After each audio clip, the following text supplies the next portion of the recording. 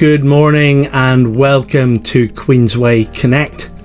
This is the online recorded service for Queensway Chapel here in Melksham in Wiltshire.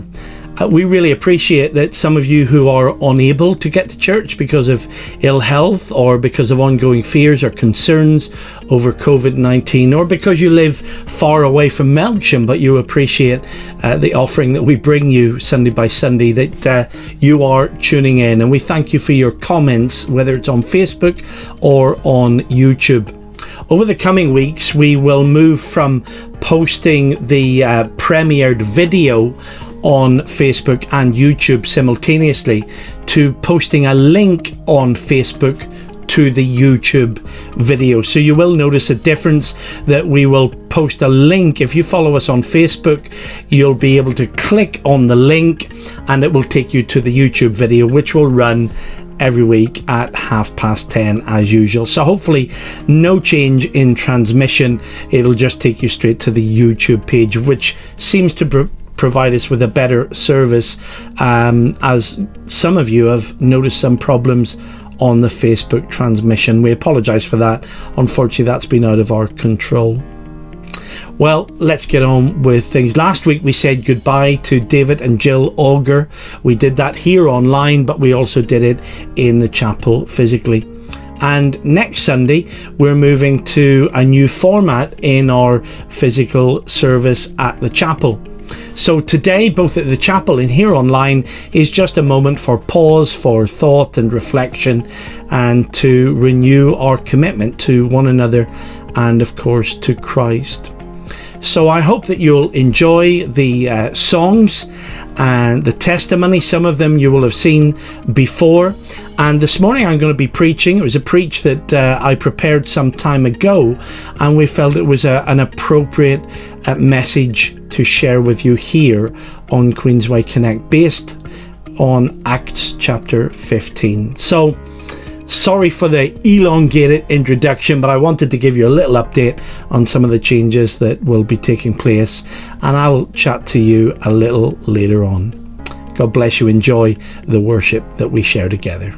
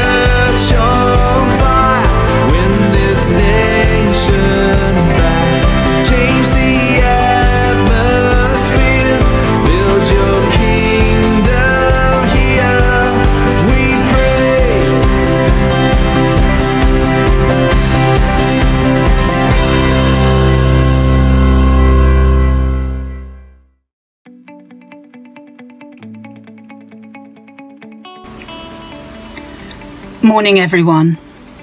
Please indulge me. It's very rare to get the opportunity to speak on my favourite subject, the apple of my eye, without fear of heckling or yawning, so please bear with me. But if you feel like doing either, it doesn't matter, I wouldn't know anyway. Now, most of you will know that about four, uh, four years or so ago, my life changed radically when I welcomed a border collie puppy into my life and the spiritual parallels between our relationship and the Christian walk with the Lord continue to amaze me, and I'd like to share some of them with you. I'm entitling this message Note to Self Be More Godfrey.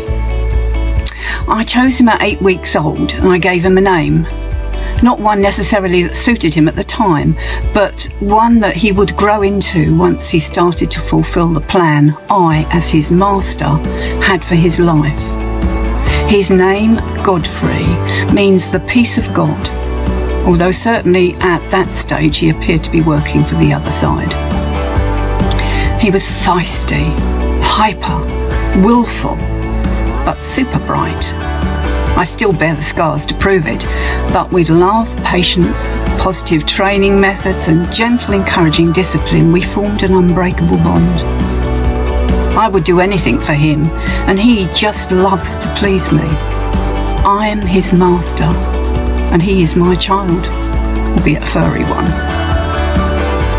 And I'm incredibly proud of him as he, for the last two years, has fulfilled his role as a qualified therapy dog, ministering with bundles of love to special needs children, young carers, the elderly, and stressed adults at ambulance stations and 999 call centres, among others.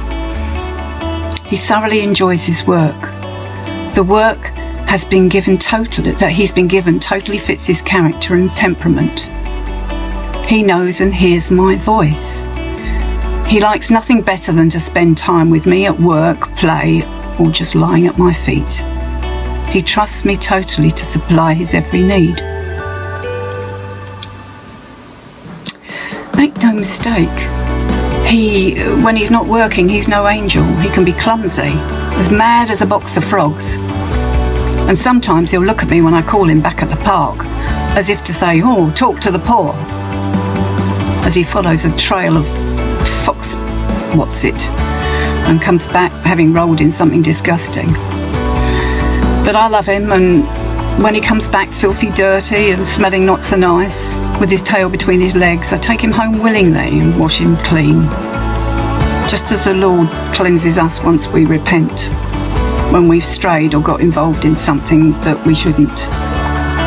I tend his wounds when he's injured he trusts me completely and without question. The other morning, while at the park for our early walk, I spotted in the distance the embers of a deserted fire which burst back into flame dangerously near a crop of trees. Apart from us, the park was empty as we ran towards the ever increasing fire, which was gaining momentum. When we got to about 10 foot away, I got Godfrey, who was obviously faster than me, to do an emergency stop and lie down while I carried on and managed to kick apart the logs and extinguish the fire. Thank God for big welly boots.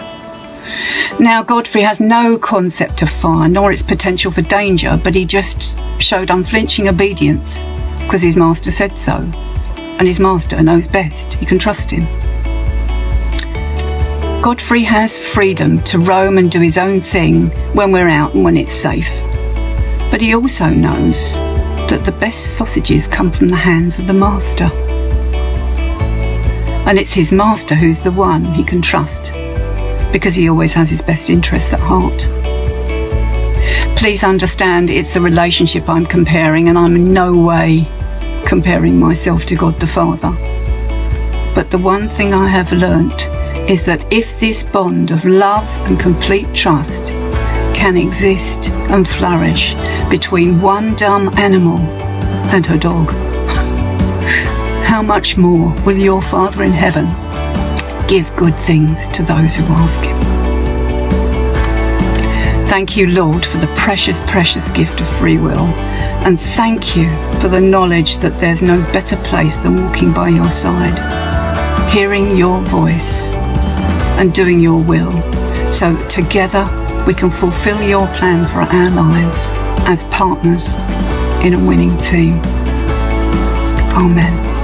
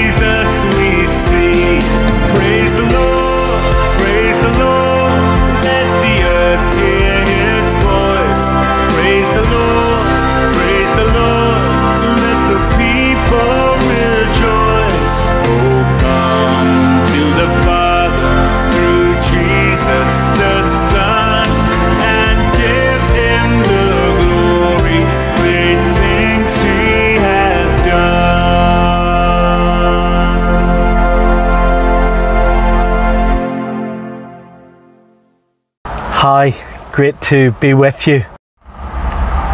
Just this week, I had a, an email from a friend. He's an elder of a church. I don't know him particularly well, but an elder of a church where he has written to say to me there's a, there's a problem. And of course, problems do arise. They arise all the time. They arise in our personal relationships. Problems arise in our marriages. They arise in our families. We have issues, and sometimes we need to deal with them. And of course, in this season of lockdown and starting to ease out of lockdown, there are all kinds of problems and questions that all of us are facing. There are issues with mental health and loneliness and isolation. There are um, marriage problems that are magnified through the unexpected closeness that's been forced on some couples who have managed to survive with social distance built into their marriage. And of course, the closeness that they have had to live in has identified, underlined some of the issues that maybe were buried or hidden. And those problems arise too in local churches. They arise in local churches. In the early church, there were a number of occurrences when problems arose. Now, in Acts chapter 15, another issue has come to a head. This is an issue that's about the very heart of the gospel. So I'm going to read to you from uh, the book of Acts from chapter 15. I'm not going to read the whole chapter, it's quite a long chapter, and uh, I'm just going to read some sections to you. While Paul and Barnabas were at Antioch of Syria, some men from Judea arrived and began to teach the believers Unless you are circumcised as required by the law of Moses, you cannot be saved. Paul and Barnabas disagreed with them, arguing vehemently. Finally, the church decided to send Paul and Barnabas to Jerusalem, accompanied by some believers, to talk to the apostles and elders about this question.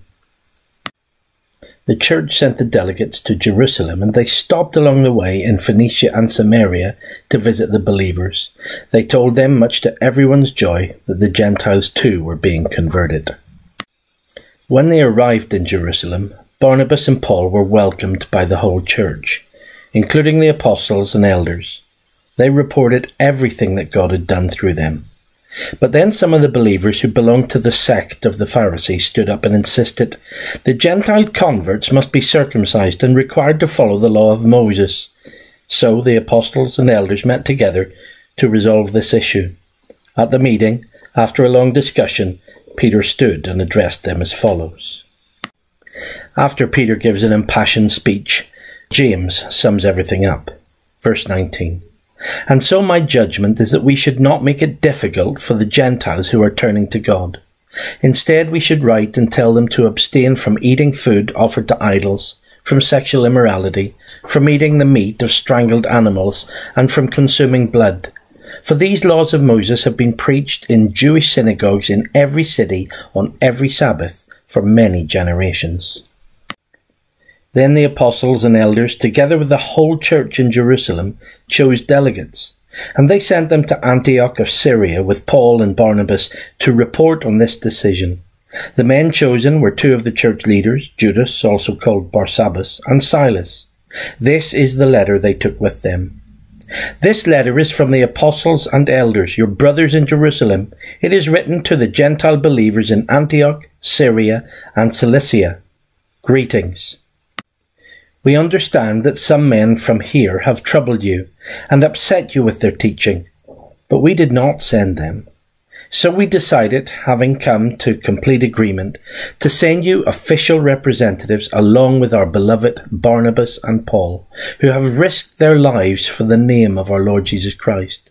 We are sending Judas and Silas to confirm what we have decided concerning your question. For it seemed good to the Holy Spirit and to us to lay no greater burden on you than these few requirements. You must abstain from eating food offered to idols, from consuming blood or the meat of strangled animals, and from sexual immorality. If you do this, you will do well. Farewell. The messengers went at once to Antioch, where they called a general meeting of the believers and delivered the letter. And there was great joy throughout the church that day as they read this encouraging message. Wow, it's an amazing reading, isn't it?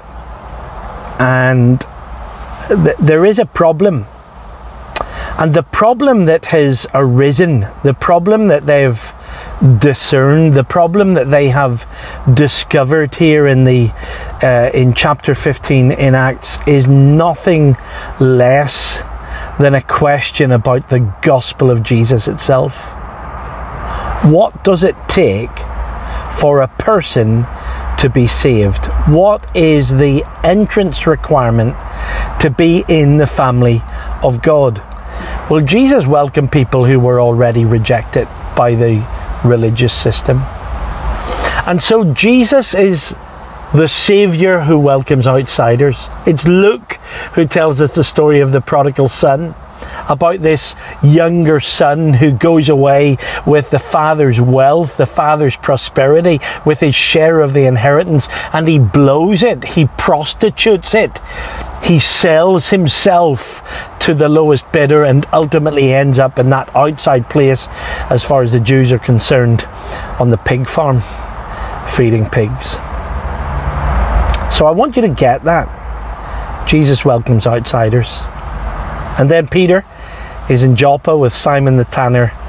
He's already on the fringes, and the call comes from Cornelius, a Roman centurion, a Roman officer. Come on over. God has given me a vision, and Peter has seen this vision three times. This um, sheet with food, this picnic blanket comes down from heaven with what Peter identifies as unclean food, at, least in the minds of Jewish people. And now the Apostle Paul and uh, Barnabas, they've been seeing God's amazing blessings on their ministry. Um, Paul and Barnabas, and in this mission that God has given them, they've been reaping, they've been traveling, they've been preaching the good news, and in place after place, the Jews, because they've first gone to the Jews, they've gone to the synagogue, uh, they've gone to where the Jewish people meet because the Old Testament scriptures, remember, the only Bible they had was the Old Testament Bible. And from that, they preached Christ, they preached Jesus. They said Jesus is the Messiah, He's the Savior, He's the one that we were expecting, He's the one that um, was promised to come to us. And so they preached Jesus. And most places, the synagogues, the Jewish people rejected them. They threw them out. Some places they beat them, some places riots began. And so Paul and his associates, Paul and his team, take the message to whoever. For God so loved the world, writes John in his gospel, that he gave his only son, that whoever, whosoever believes in him. And Paul believed that message, and with his team, they took the message to whoever, not just to Jews, but to Gentiles. And the Apostle Paul is committed to the truth that Peter has discovered at the house of Cornelius. This message is for everyone. And the way that you come into the kingdom of God is through trusting in Christ, is through faith in Jesus. In the church up north, much further north than where Jesus was from, not in Nazareth, but um, in Antioch, of course, there had been persecution in the book of Acts, and the church is scattered. And eventually, because of persecution, they follow the mission plan, the map that Jesus gave them in Acts chapter 1, uh, verse 8. Uh, start in Jerusalem, go to Judea, then Samaria, and you read how Philip takes the gospel to Samaria, and then the ends of the earth. Well, Antioch is beyond Samaria and it's the beginning of the ends of the earth. It's the it's this wonderful place that God is blessing this ministry and people are being saved in Antioch and Paul and uh, his team go from Antioch and they take this gospel message. And false teachers, well, not false teachers, but Pharisees who've become Christians or Christians who are Pharisees. That is, those who say you have to keep the Jewish law to be a follower of Jesus. You have to be circumcised. You have to abstain from unclean food. You have to keep the other Jewish laws and traditions. You know, there were over 630 laws that were written that were supposed to be kept by the Jewish people. So, this was the core of the argument. What does it take to be a Christian? It's a great question to ask, isn't it? What does it take to be a Christian? There are people in the world, and there are people in churches who say, well, to be a Christian, you have to. Well, fill in the dots. You have to go to church every Sunday. Well, we can't do that during lockdown, can we? That's not been possible. So if I'm not going to, to church physically, I've been not a Christian. There are other people who say, well, to be a Christian, you have to be christened. Well, I wasn't christened. I was brought up in a family that didn't believe in christening. So does christening make me a Christian? And if I'm not Christ- christened, doesn't mean I'm not a Christian. Uh, you have to go to Mass or communion or confession. It's been difficult to share communion this last little while. Some churches are doing it in different ways. But how do we have communion? It's been very difficult. I've never been to confession. You see, there are Christians, people who say we're followers of Jesus, who have said, in order to be a Christian, you have to. You have to. And then there's a list. You have to keep the Ten Commandments. Well, there was a man who went to Jesus and he said, All of these I've kept since I was young. And he still turned his back on Jesus and walked, walked away, that rich young ruler, when Jesus said, Give what you have to the poor, sell it, and come and follow me. So, what does it take to be a Christian? That's the question of Acts chapter 15. And there's a wonderful verse right in the heart of this passage, and I, I, I- hope you noticed it. And it's this statement We should not make it difficult for those Gentiles who are coming to God. Right at the heart of what I want to say this morning. I'm not going to take much longer. We've kind of set the scene, we've told you what the argument is about. But they say we should not make it difficult for those who are coming to God. I believe that many of our churches have made it difficult for people who are coming to God. We've made it difficult. You know, we've said to people if you want to get to know Jesus, you need to come to our building because we're going to run a we're going to run a service. Uh, come to our building because we're going to do a course. Come to our building because we're going to run a club. And people don't want to come to our building.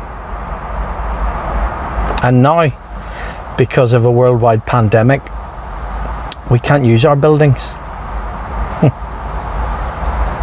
Then we say to people, well, you need to come to the mission, or you need to come to a service. Or when I was growing up, uh, although um, uh, you know we, we said we welcome people, whoever and however, there was a sort of pressure to dress a certain way. You felt if you didn't dress a certain way, you weren't going to fit in. So there are some spoken and some unspoken requirements not to become a Christian.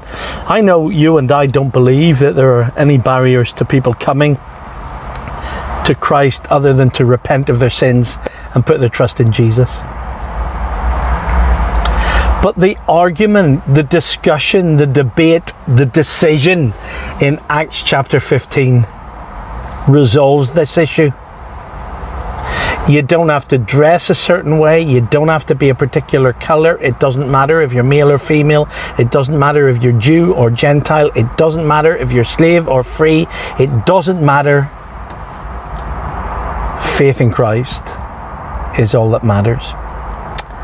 They gave two or three little things uh, that they underlined and said it would be good if you are. They don't say you have to, but it would be good. It would be good if you abstain from animals that are uh, offered to idols. Of course, idolatry was a was a massive issue uh, in the in the world of their day, and we have idols in our world too, whether they're sports heroes or pop stars or our television or our mobile phone or an app that we use or Facebook or our children. We can make idols out of our family or a husband or a wife or, you know, abstain from the meat of animals offered to idols and um, avoid eating the, the, the blood if you can. In other words, they were just saying if it's possible, don't offend your Jewish brothers and sisters. That's that's a good rule, isn't it? It's not even a rule. It's not stopping you from coming to Jesus. It's just do, do your best not to offend those who are struggling with the stuff that's no problem for you. And then, of course, there's the, the one other, which is avoid sexual immorality. Now, the Bible's very clear about sexual immorality, and we need to live lives of purity. But I don't do that to come to Jesus. You know, impure people, and that's you and me, we're welcome.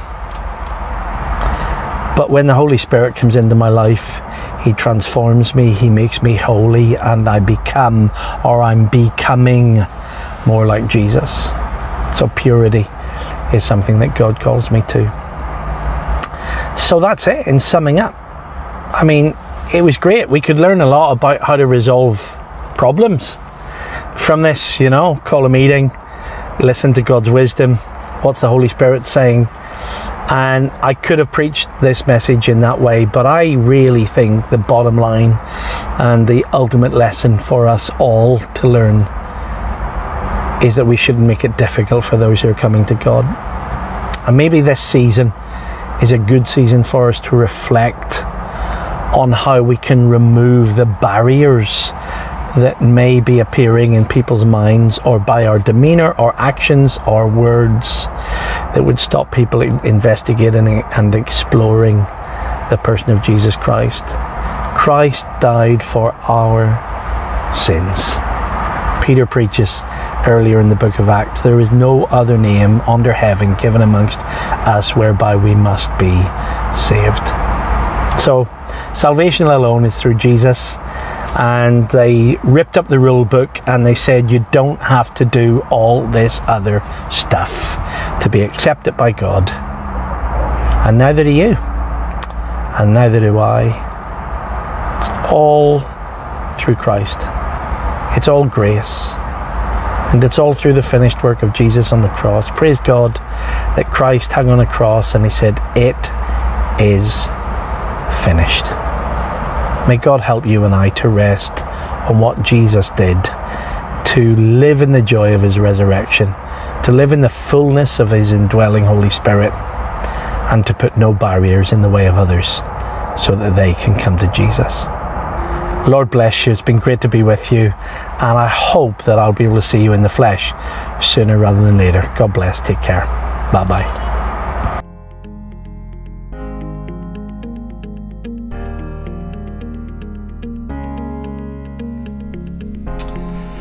Well, thank you so much for your time with us. Do comment on the email address or to the mobile phone that is listed. We'd love to be in touch with you if you'd like help or support, or you'd like to know more about following Jesus, or you just have uh, burdens or needs that you would like someone to pray with you or for you about. Please do send them to us on those personal means as listed on the screen. I'm going to pray that God's blessing will be with you, and after I pray, we will have our concluding song. Lord Jesus, thank you for speaking to us. Thank you that in the book of Acts, the uh, apostles, the church leaders in Jerusalem grappled with what was really important.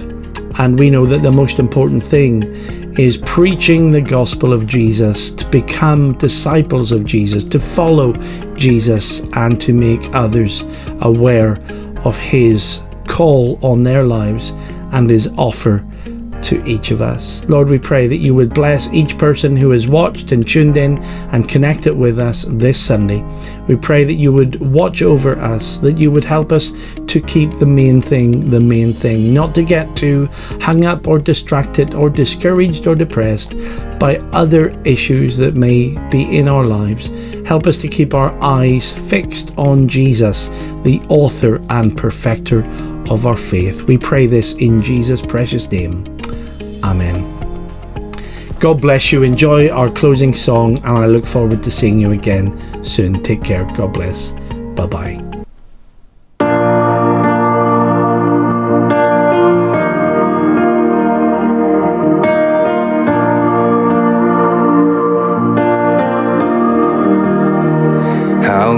The chasm that lay between us.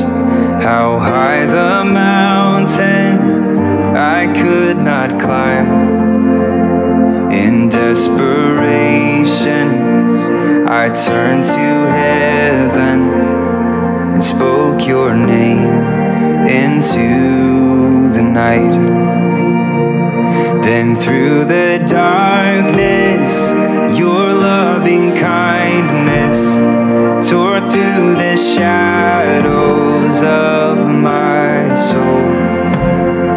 The work is finished, the end is written.